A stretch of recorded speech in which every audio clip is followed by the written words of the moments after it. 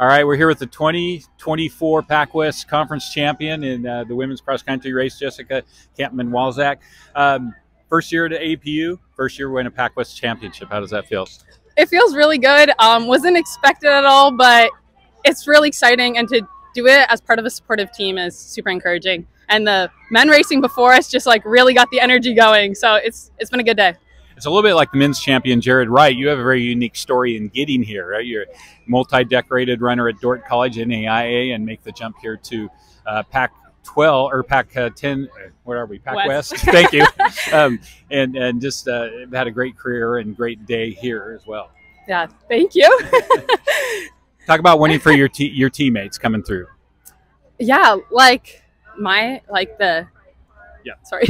um. Yeah. It's just it's just really exciting because we all work together in practice. Like we do everything as a team. So like just to be able to like be just one representation of like this is seven girls we had running of all the work we put in as a team is just really exciting and to like show everyone else like what APU as a group can do. All right. Congratulations. Good luck at regionals. Yeah, thank you.